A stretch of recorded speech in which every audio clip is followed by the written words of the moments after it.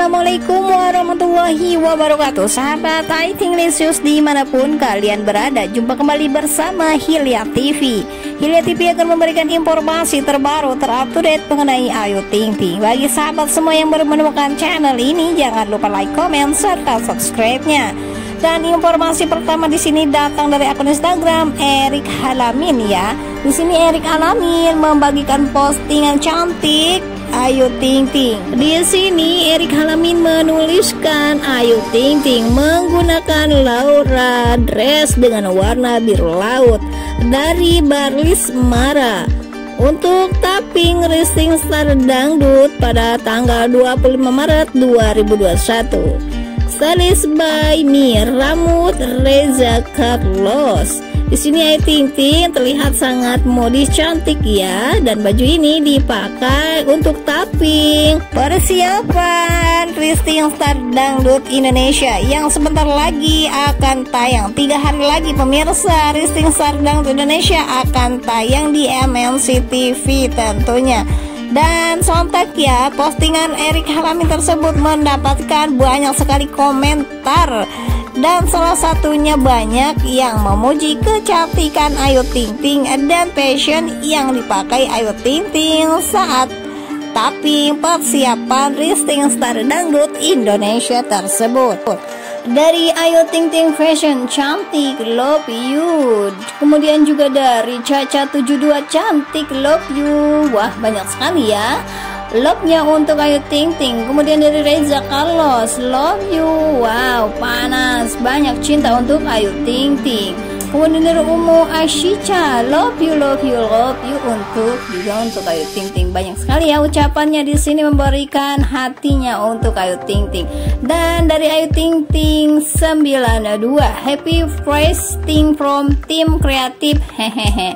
Niko Niko nih Ada Salvina Villa mengomentari status Instagram Ayu Ting Ting. Hello gadis Korea. Wow cantik sekali ya Ayu Ting Ting hari ini Angkasa Bali 20 Yel Yel pas buka Trans 7 pas buka pasti naik trending jadi nomor satu. Di sini ada Ayu Ting Ting ya di pas buka. Jadi bagi sahabat semua jangan lupa nih saksikan sore ini jam 14.30 waktu Indonesia Barat pas buka. Pas sekali menemani kalian semua untuk berbuka. Jangan lupa dan jangan terlewatkan ya ada Ayu Ting Ting di sini dari Ella sayang Umi bahagia terus. Ayu Ting Ting. Angka Sabali 20 makin kece aja kesayangan. Love you Ayu Ting Ting. Ya di sini Ayu Ting Ting terlihat sangat fresh sekali cantik.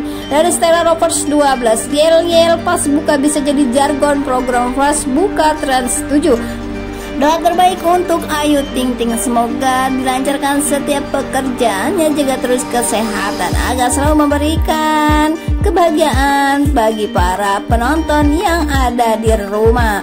Oke sahabat menginjak berita selanjutnya nih ya. Di sini ada kegiatan Ting Ting dilapor Pak Nih Lucu banget ya dari Robi 1202 Komandan, ayo kamu punya tangga Ayu Ting Ting punya komandan, komandan. Kebetulan aku juga punya rumah. Gimana kalau kita bikin toko bangunan? Hahaha.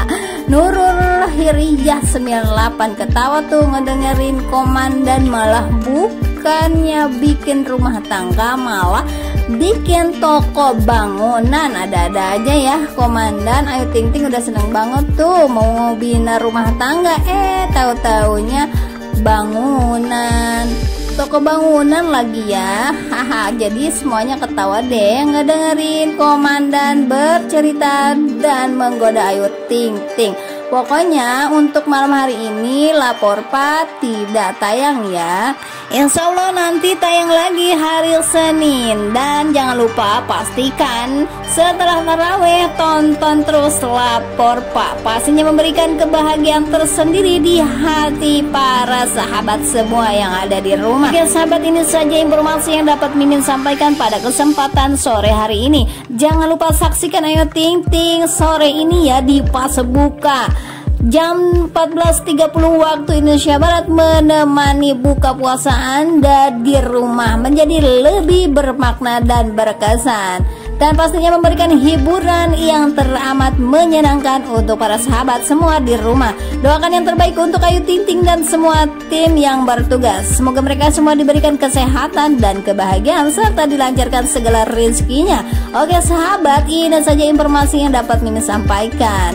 Dan tunggu ya kabar selanjutnya dari Mimin. Selamat sore, selamat beraktivitas dan selamat menyambut buka puasa untuk semua sahabat yang sedang berpuasa. Oke sahabat, wassalamualaikum warahmatullahi wabarakatuh.